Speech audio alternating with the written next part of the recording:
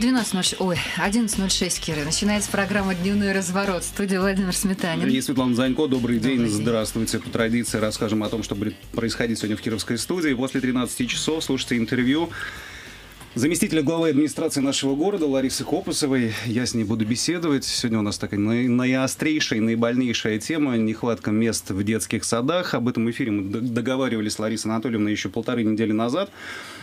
Был анонсирован круглый стол, очень масштабный на базе городской администрации. Он прошел неделю назад, во вторник. И меня поразило, знаешь, что, насколько администрация открыто подошла к этому вопросу. Были приглашены, собственно, и самые активные мамы нашего города, которые напрямую чиновникам задавали очень острые вопросы, и на многие вопросы там ответы были получены. Ну и сегодня мы вот хотим осветить это все очень широко после 13. Да, ну и кроме того, надо напомнить, что на прошлой неделе в программе «Урбан» губернатор Кировской области и э, Игорь Васильев и Илья Шульгин, сити-менеджер, были здесь и озвучивали планы предстоящие к 650-летию города, и среди этих планов были довольно серьезные заявления и а, проекты по развитию социальной и образовательной инфраструктуры города. Впервые, пожалуй, такая, а, такие планы озвучиваются в каждом районе по школе искусств, в каждом районе по спортивным центрам, хоккейные коробки, футбольные площадки. В общем, все то, чего не достает на подросткам, молодежи и детям. И я думаю, что на эту тему тоже можно будет с Ларисой Анатольевной поговорить. Да. Участвует ли она в планировании вот этих да, проектов? Считает ли они, э, там, как они рассчитывают это все, необходимость, потребность и прочее, насколько важными она считает?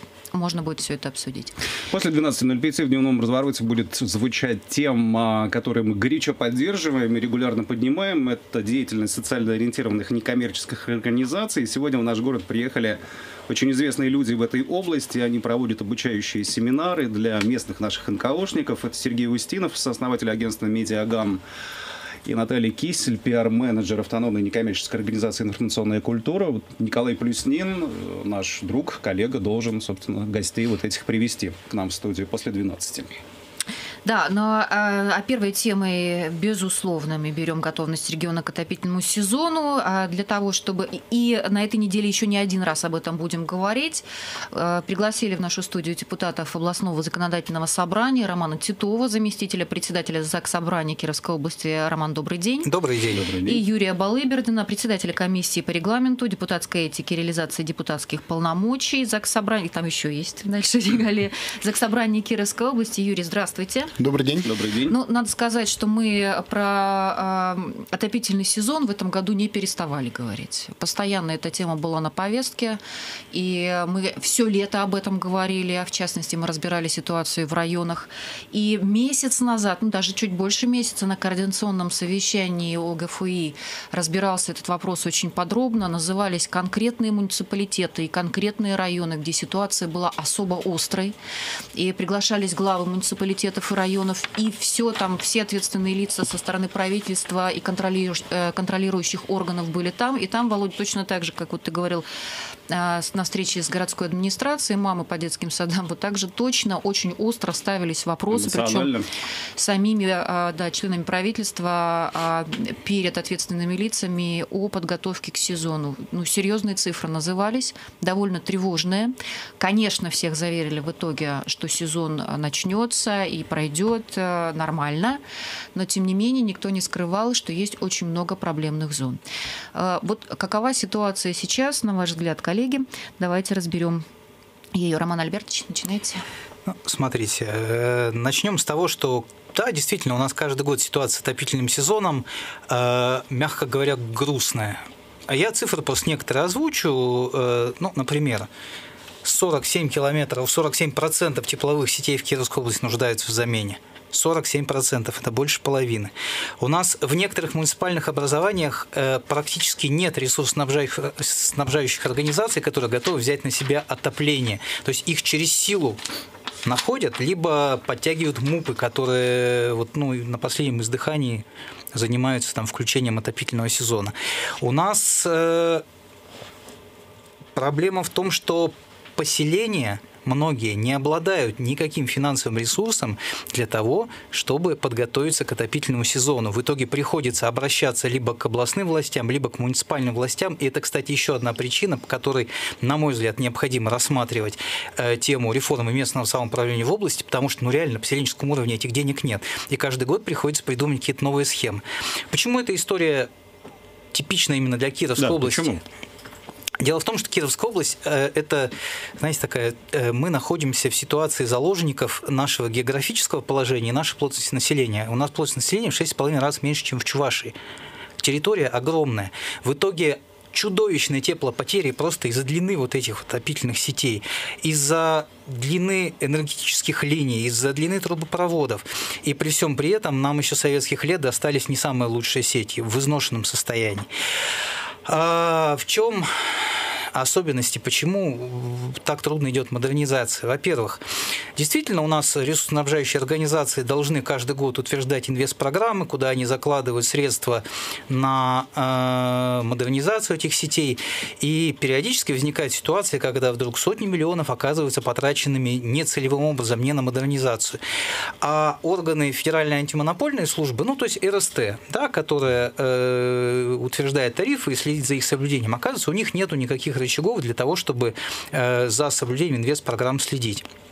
Вторая ситуация – это ситуация типичная для как раз муниципалитетов. Это невозможность модернизировать сети на свои деньги, поэтому муниципалитеты заходят на концессии. Концессионных соглашений у нас немалое количество в области утверждено, но и там есть целый ряд проблем. Во-первых, у нас законом не установлена ответственность всех сторон друг перед другом. Ну, к примеру, по досрочному расторжению конституционного соглашения, я думаю, Юрий Александрович подробнее чуть позже расскажет о ситуации по Богородскому району, где мы это угу. увидели воочию.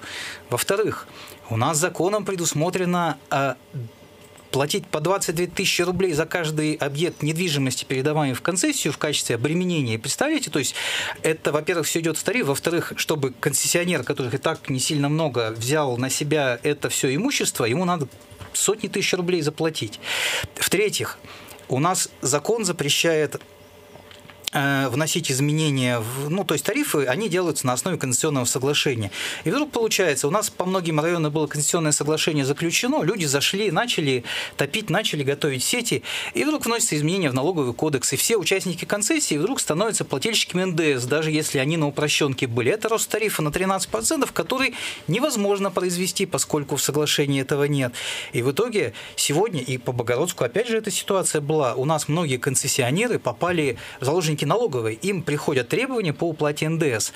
Э, решение многих, большинства, наверное, этих проблем, оно находится на федеральном уровне, поэтому мы сейчас проводим очень серьезный мониторинг ситуации с конституционными соглашениями, с модернизацией инфраструктуры, прежде всего, на селе э, в Кировской области, и готовимся к заседанию Ассоциации Приволжского Приволжской ассоциации законодателей, которая состоится в конце этого года, где будем серьезно и на высшем уровне поднимать вопросы о необходимости очень существенной корректировки законодательства, потому что своими силами мы модернизацию этой инфраструктуры не проведем. А У нас денег четко, что на, на, на чем вы будете настаивать? Изменения в налоговый изменений? кодекс, угу.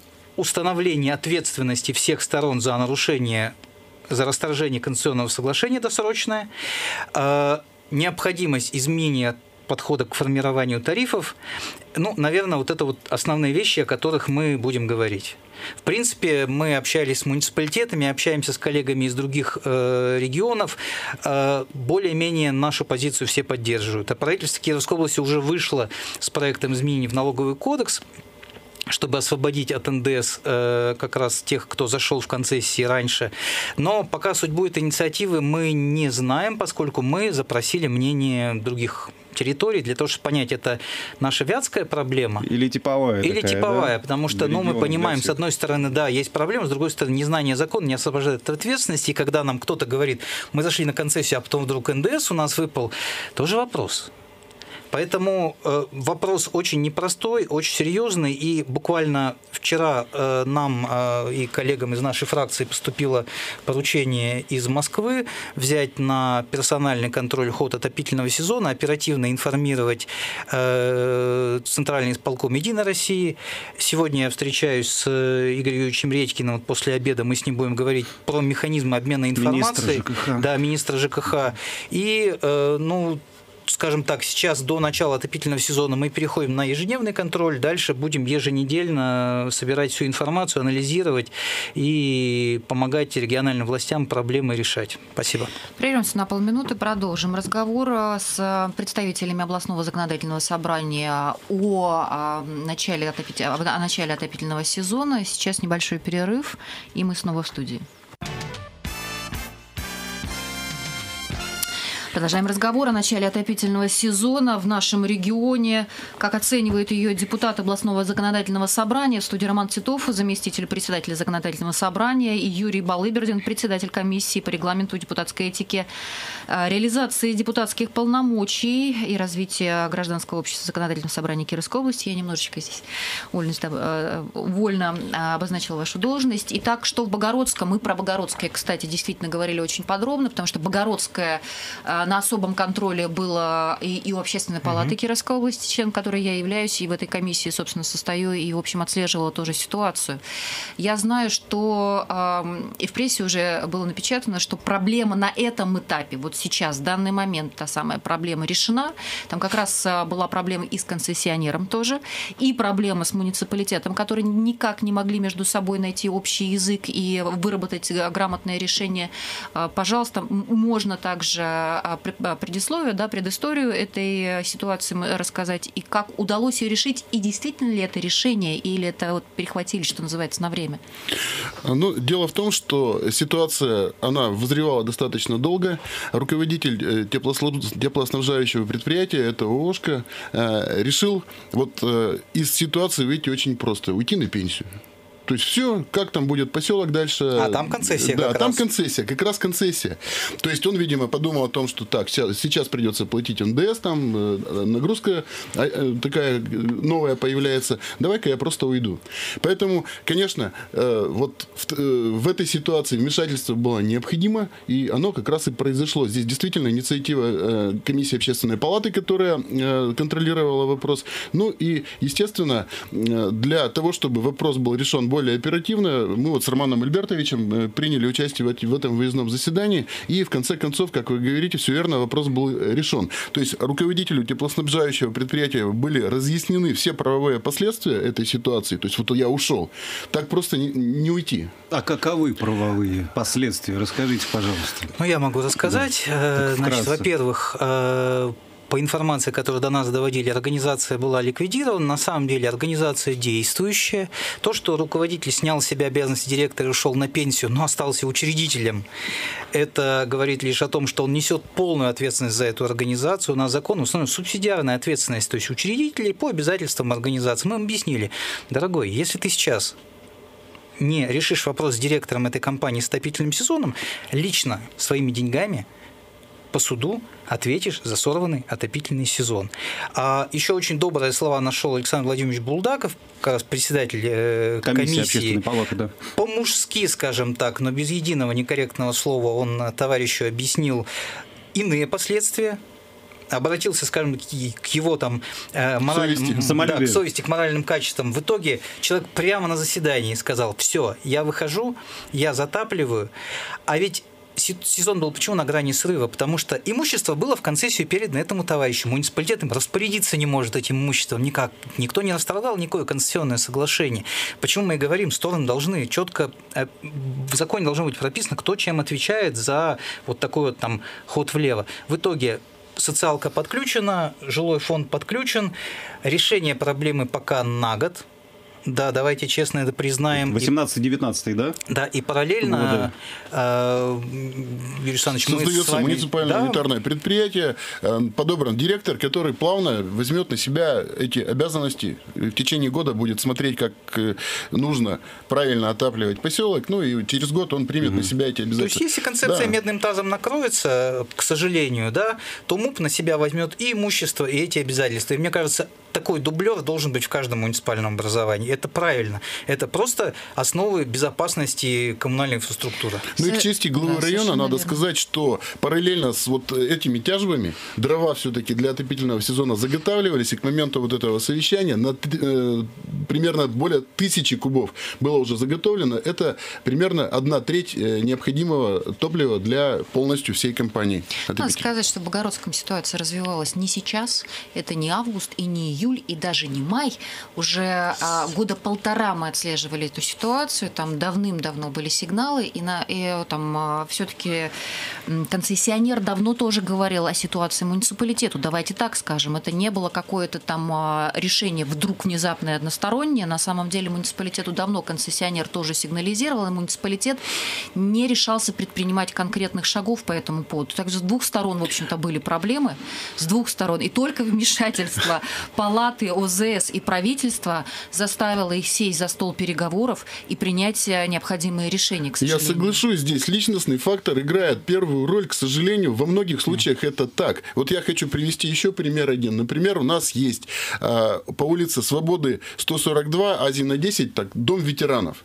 Да. Обратились э, жители, вот там э, соответствующий контингент Район ветеранов. Рынка. Да, да, да, все да. верно. Что нет горячей воды. Все лето нет горячей воды. Э, вопрос не решается, мы мерзнем. Начали выяснять ситуацию. А после разговора эм, с руководителем компании Т+, э, Сергеем Александровичем Бересневым, оказалось, что он готов э, пустить воду в любую секунду. Она возле дома стоит, открывайте задвижку и топите. Значит, стали выяснять с домом, что Оказывается, что этот дом не готов принять воду. Почему не готов? Там какой-то прибор на диагностике. Ну, не все же лето. А там поменялась еще управляющая компания. Разговор с управляющей компанией.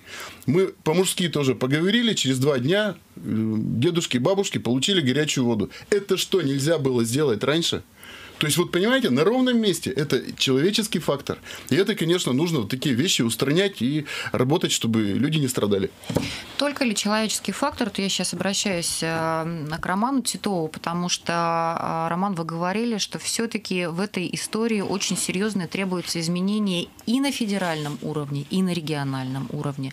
Вот эти ситуации, которые мы описываем, это голый человеческий фактор или а, все-таки она вызвана, э, они вызваны тем, что несовершенно, несовершенное законодательство? Я считаю, что да, первопричина человеческий фактор, но э, ответственность за нарушение норм, а у нас, насколько я помню, запрещено воду больше месяца задерживать, но ведь э, есть обходные лазейки, поэтому вешают объявление. Вот через месяц включим воду, через месяц включим воду. Вот каждый раз через месяц ее как будто бы заново на месяц продляют.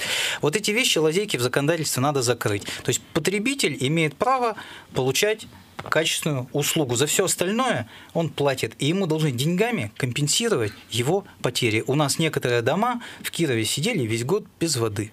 За это должна ответить ресурсоснабжающая организация. Хочет она того или нет. Но для этого надо зафиксировать в законе. Но два дня включили, и как будто новый срок пошел. А, ну, вот так вот. Конечно. Включается на пару дней, и дальше новый отчет. И дальше мы будто бы не нарушили законодательство. Вот погрели. Обнулили. Да, обнулили. Ну, да. Слушайте, мне очень хотелось бы, чтобы сейчас прозвучала от вас, уважаемые депутаты, какая информация. Вот буквально вот-вот подписал глава администрации областного центра Илья Шульгин постановление о начале отопительного сезона. Вот наши слушатели, если у них сейчас проблемы с водоснабжением, с горячей водой, не поступило тепло, хотя вроде вот уже отопительный сезон начался, как действовать, куда идти, куда жаловаться, звонить? Государственная жилищная инспекция Кировской области, которая должна соблюдать, э, точнее, надзирать за соблюдением прав жильцов, у которой законом эти полномочия есть, если ГЖ не реагирует, прокуратура Кировской области. Ну, хотелось бы еще напомнить, что э, у нас есть еще городская дума Кировская, и там есть депутаты Кировской городской думы. Я думаю, что жители города должны знать, кто представляет их э, территорию, и, безусловно, следует обратиться их к своему депутату для того, чтобы он помог. Хорошо, ясно. Так, давайте продолжать. У нас не единственная да, тема подготовки Совершенно региона верно. к отопительному сезону. Я думаю, переходим да, к следующему тоже немаловажному вопросу. Это переселение из аварийного жилья. Вот в справке, подготовленной специально для нас при службе ОЗС, сказано, что наша область находится в лидерах по финансированию дополнительно выявленного аварийного жилищного фонда. Всего в нашей области насчитывается 217 аварийных домов и предстоит расселить почти 2000 человек. И на эти цели как раз-таки область наша получила субсидию, очень даже не маленькую, в размере почти 815 э, миллионов миллионов рублей. Давайте в эту тему окунемся. И нам еще нужно успеть все-таки про пенсионную реформу поговорить. Потому да. что деньги да. большие, деньги очень большие. Для сравнения, там в Самарской области да, всего 42 миллиона выделено. Но проблемы все равно существуют. Я, Роман нач... я начну тогда даже не с заседания УЗС, а со вчерашнего дня. Вчера состоялось заседание Президиума Совета по стратегическому развитию Российской Федерации, где была где были одобрены паспорта шести новых национальных проектов, в том числе национальный проект по современному жилью у которого подраздел, подпроект – это расселение аварийного жилья. Вот для понимания, до 2023 года на эти цели будет выделено 500 миллиардов рублей в Российской Федерации. Планируется расселить а, до 2023 года 9,5 миллионов квадратных метров жилья. И от того, как мы реализуем программу в этом году, зависит, сколько нам Федерация в следующем году даст. Ждали 70 миллионов рублей – получили из федерального бюджета 800 с лишним миллионов рублей. И поэтому вот мы на заседании нашего комитета по промышленности вопрос поднимали и рассматривали не для того, чтобы кому-то просто камень в огород кинуть, а скажем так, это последнее китайское предупреждение органам исполнительной власти, которые контролируют ход программы. Потому что, с одной стороны, у нас законтрактованы все 31 строящийся дом. Но мы понимаем, что будет в конце года. Некоторые дома только вылезли из фундамента по целому ряду объективных причин, в том числе из-за 44 ФЗ, когда непонятно кто зашел на торги и выиграл угу. объекты, в том числе из-за того, что 14 домов, по-моему, строит ОК-завода АЦМ, у которого было в конце августа отозвано, приостановлено сырое разрешение на строительство объектов до ноября. А, вопрос в том, когда эти дома будут достраиваться. Когда э, в ноябре их качественные характеристики могут в силу ускоренных темпов э, строительства быть далеки от совершенства. Но муниципалитеты никак не могут влиять на качество этого жилья, потому что они будут приобретать квартиры по аукционам. А ведь уже несколько лет назад на примере муниципального образования города Киева было доказано, что лучший способ уйти от некачественного жилья, приобретенного, и контролировать все этапы строительства, это самому выступать заказчиком строительства. Вот вспомните, приобретались квартиры там, на Боровой 26, там, в каких-то жутких дырах, отказались от этого, дали полномочия ОКСу городскому заказывать строительство, нанимать подрядчиков, контролировать все этапы. Сразу количество обращений по качеству аварийного жилья, переселенческого фонда, точнее, снизилось до минимума. И самое главное, что мы рекомендовали по итогам комитета правительства Кировской области, перейти на эту модель. Нельзя давать деньги муниципальным образованиям. Это и потенциально коррупционная составляющая, и отсутствие контроля, и многочисленные нарекания, которые будут после Нового года, после ввода объекта в эксплуатацию. И присутствующий на заседании комитета Кадыров Владислав Валерьевич, курирующий заместитель председателя правительства, сказал, что и правительство уже пришло к этому выводу. У меня только один вопрос, но это вопрос не к нынешнему правительству. В 2014 году мы эту тему проговаривали еще с прежним заместителем губернатора, который курировал. Объясняли, почему нужен заказ этого жилья.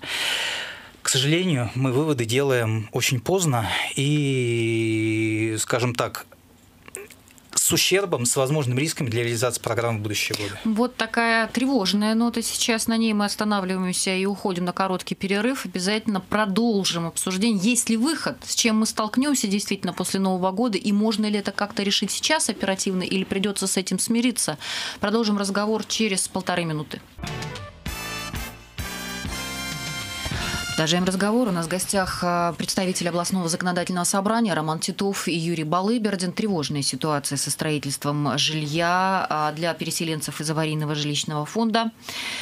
И несмотря на то, что большие деньги в Кировскую область пришли а, для этих целей, мы понимаем теперь вот из всего вышесказанного, что после Нового года, когда эти деньги будут освоены, и жилье так или иначе будет введено в строй, мы столкнемся с проблемой некачественного жилья не дай бог, столкнемся, но э, ускоренные темпы строительства всегда приводят к появлению э, проблем на объектах. Это приводит к чему? То есть, во-первых, э, будут страдать главы администрации или лица, ответственные за приемку объектов некачественных. Во-вторых, там есть риски там, составов по действиям застройщиков, которые заведомо будут вынуждены это жилье сдавать. Еще одна проблема. У нас ведь немалая часть жилья приобретается на вторичном рынке. И э, нам с коллегами удалось выявить э, жилье, которое которая приобреталась 62 год, 64 год постройки. Вот, например, по жилью для детей-сирот ограничение по срокам закупки установлено, а здесь ну, нам не смогли пояснить, Юрий Александрович, на да. комитете, вот есть ли какие-то ограничения 62 64 это хрущевки, что ли, самые вот да, распространенные? Они, слушайте, они, может, выглядят достаточно неплохо, но давайте вспомним, что в Москве эти объекты сносят по программе ну, реновации. Да. Да. Кстати, вероятнее всего, одной из моделей будущей программы переселения ветхого аварийного жилья будет как раз реновация, поскольку там в Кирове уже не столько деревяхи надо переселять, сколько вот эти вот дома, пятиэтажки. У них срок эксплуатации 50 лет край и скоро их надо будет переселять. И мы говорим, подождите, зачем вы это покупаете? Вам через 15 лет, ну, надо на будущее думать, придется их расселять, лучше строить качественное Конечно. жилье. Возможно, строить в Кирове, потому что у нас все равно миграционные потоки в Киров из районов направлены. И, возможно, кому-то уже сегодня надо в Кирове, где есть рабочие места, дать это жилье, чтобы люди переехали из районов. Кстати, некоторые районы уже покупают жилье в Кирове, и это нормальная квартира, в отличие от тех, которые в ряде районов покупаются. Мы дали свои рекомендации правительству, надеемся, что они будут услышаны и поддержаны, поскольку мы искренне переживаем за реализацию этой программы. Ну, вот здесь очень важное на самом деле прозвучало замечание в перерыве, абсолютно понятное, вот мы его все равно сейчас озвучим для наших слушателей, оно понятное, потому что мы по строительной сфере делали не один эфир в свете изменившегося законодательства, и здесь наши ключевые игроки на строительном рынке говорили о том, что в районах строить никто не будет. Не строил, а теперь уже и не будет строить, что, конечно, невыгодно там строить, строить выгодно в Кирове. И вы, а, Юрий Александрович, как раз прокомментировали, что было бы грамотнее, и вы это предлагали, закупать квартиры по этой, квартиры по этой программе, новые квартиры в хороших домах у наших строителей, а люди, которые приезжают, а, и давать их людям, которые а, переселяются из аварийного жилья в районах, если хотят остаться в районах, продал квартиру в Кирове, построил дом в Лузе. Все верно. Кроме того, я хотел бы обратить внимание, у нас э, в Кировской области примерно 1300 населенных пунктов, где нет работодателей. Так вот, у нас есть и в то же самое время есть э, предприятия, в том числе сельхозпредприятия, которые работают эффективно, качественно, и там требуются специалисты. Так вот, там и надо тоже в том числе строить жилье. Там, где потребуются люди, новые рабочие руки, и вот, например, там Среднеивкино. Факт, ну, да, Харун об этом как раз тоже говорил. Предприятие новое. Представители, вот в общественной палате мы тоже все время это обсуждаем, представители, да, вот представители сельскохозяйственной территории, территории тоже об этом говорят. И соцобъекты объекты и жилье надо строить там, где существует жизнь и план Безусловно. развития предприятий. Да, но вот смотрите, в, на, новый, на новый агрокомплекс э, в Немском районе работники будут, например, из Кумен даже приезжать. Так вы выделили деньги на переселение аварийного жилья, постройте рядом, э, там хороший населенный пункт, постройте рядом жилье, у людей будет работа. То есть необходимо увязывать программу переселения с планами по территориальному развитию Кировской области. С увязками у нас сложности. Здесь же дети-сироты тоже, они имеют право на получение жилья. Так вот, проще, наверное, такого человеку предоставить жилье там, где есть работа. Кстати, мы им дали право э, приобретать квартиры в Кирове, даже если они там жили в отдаленных районах. И, наверное, надо эту тему именно и на аварийное жилье транслировать. Зачем строить там, где нет рабочих мест и, возможно, никогда не будет? Это неправильно. Это напрасно потрачены средства бюджета. Ну, исполнительная власть говорит, ну я же делаю, я же строю, я Перспективы же принятия такого предложения все-таки есть? Вы будете добиваться этого Будем решения? добиваться. И что касается по созданию единой службы заказчика строительства, ну, Владислав Валерьевич Кадыров нас прямо там заверил, что это будет сделано. Это давно надо сделать. Контроль над всеми этапами. Еще один важный вопрос, который нам необходимо осветить, это движение в обсуждении принятия пенсионной реформы, которые, а, которые, а, я думаю, не закончатся и после того, как Госдума окончательно примет э, закон. Ну, второе ключевое чтение да. вот-вот вот грядет. Да, да, да. Какие основные были поставлены вопросы на заседании ОЗС, к чему пришли депутаты? Ну, изначально э, наша задача была сделать так, чтобы максимально э, сделать Э, ситуацию э, таким образом, чтобы люди, получали, получающие льготы, продолжали их получать. В частности, в Кировской области порядка 115 тысяч жителей э, льготами региональными пользуются. Вот те законы, которые, изменения в законы, которые были приняты на минувшем пленарном заседании, закрепили за всеми этими людьми те льготы, которые они получают, вне зависимости от изменения федерального законодательства. Ну, давайте проговорим То есть на вот конкретных примерах. Конкретные примеры. Значит, в в законы области внесены изменения в закон об образовании, о мерах социальной поддержки ветеранов труда, тружеников тыла, о социальном э, обслуживании граждан. После вступления в силу э, данных закон, вот этого закона э, возраст, по достижении которого граждане смогут получать э, те или иные льготы, будет нормативно закреплен. Для женщин 55 лет, для мужчин 60. То есть, вне зависимости от принятия федерального закона, наши региональные льготники свои льготы получат в соответствующий возраст. Более того, а, две поправки э, внесены э, в, будут внесены в Государственную Думу. Это также решили мы на законодательном собрании, на пленарном заседании. Э, первая поправка разработана Федором Сураевым. Он предложил включить трудовой стаж для начисления страховой пенсии периоду ухода за ребенком в возрасте до трех лет. При этом общая продолжительность таких периодов не, не должна превышать 12 лет. Это правильно, потому что следующий, там где 5, пятеро детей, там, там уже льгота существует. А вот все остальные, они как раз попадают под э, вот эту поправку. И вторая поправка э, Галиной Бурковой внесена, э, председателем социального комитета. Она предложила сохранить право на досрочный выход на пенсию для педагогов, медицинских работников и некоторых категорий творческих работников. То есть мы считаем, что эти категории работающих наших сограждан имеют право на соответствующие льготы, потому что в одном случае это будущее нашей нации, в другом случае это настоящее там, здоровье, здравоохранение, образование, воспитание. Мы считаем, что это очень и очень важно для Эти нас. предложение уже отправлено в Нижнюю палату парламента? Я вам могу сказать даже более интересную фактуру. Официально на сайте профильного комитета по труду опубликован... Госдумы. Да, Госдума опубликован полный перечень поступивших поправок, более 200. Так вот, два единственных представительных органа в Российской Федерации, которые отправили свои поправки, это Законодательное собрание Кировской области и законодательный орган Ямал-Ненецкого автономного округа. Причем поправок-то мы отправили две, но каждая состоит из них из э, мелких подпунктов. Так вот, по количеству предлагаемых изменений в законодательство Кировское законодательное собрание предложило существенно больше своих коллег. Мы на самом деле постарались летом поработать и, э, понимая, что необходимо отдельные категории защитить, мы это сделали. Вопрос сейчас за федеральным законодателем. Наши поправки будут рассматриваться наравне с поправками депутатов Государственной Думы, президента, э, партийными поправками. Надеемся на то, что мы будем услышаны. Мы готовы ехать на комитеты, готовы ехать на пленарку и защищать нашу позицию. Ну и больше того, наши депутаты законодательного собрания, э, депутаты Госдумы, Госдумы депутаты, те, те, кто члены Совета Федерации, вот Вячеслав Степанович Тимченко был, присутствовал у нас как раз, они безусловно, э, пообещали помочь в продвижении наших предложений. Поэтому мы будем надеяться, что эта работа будет успешной. Вообще же поправки мы собирали с представителей всех фракций. Еще в августе было разослано письмо предложение поправки предлагать. Была поправка, предложена ЛДПР. Целый пакет поправок Федор Васильевичем Сураевым был направлен фракции «Справедливая Россия».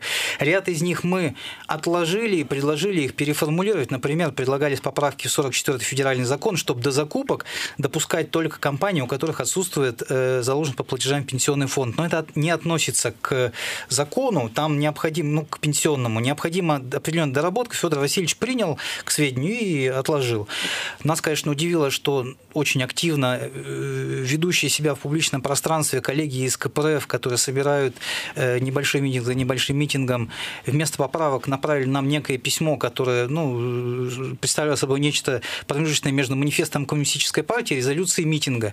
А на пленарном заседании Сергей Павлович вдруг сказал, а где мои поправки, там прочее, прочее. Конечно, удивительно вы э, собираете мнение людей. Ну, не надо писать резолюции митинга, внесите поправку. У вас, как у депутата, есть право законодательной инициативы. форме. Конечно, но хочется увидеть э, вот реально конструктивную работу, а не уличную политику. Но вот сейчас уже поздно это делать.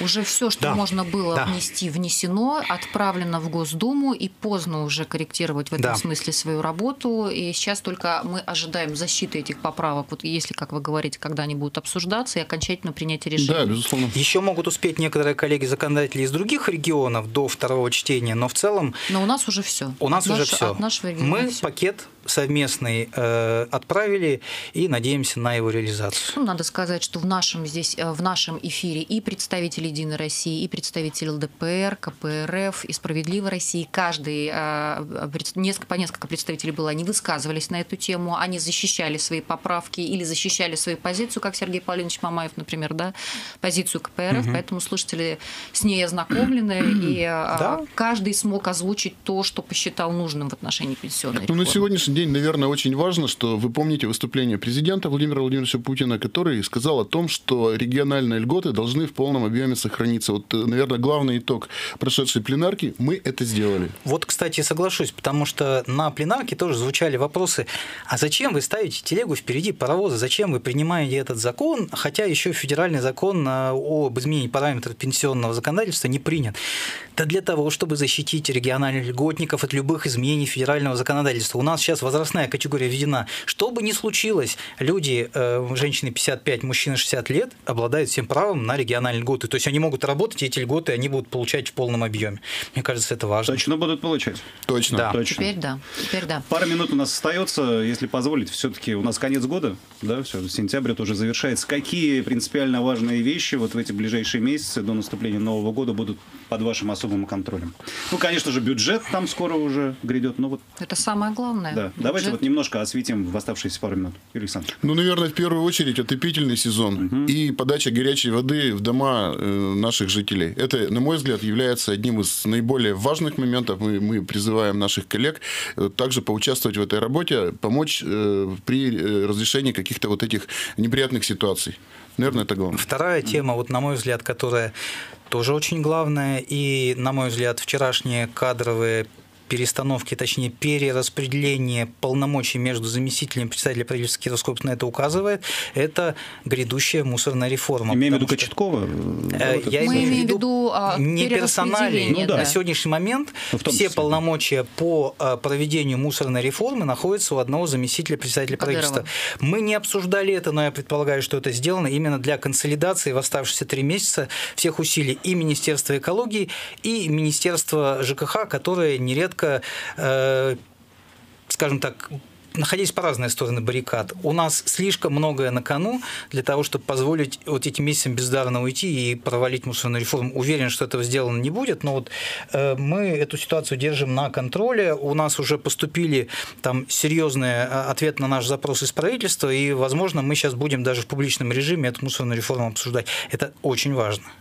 Ну да, Безусловно. планируется... Насколько... Вопрос формирования тарифа, кстати, Безусловно. отдельно.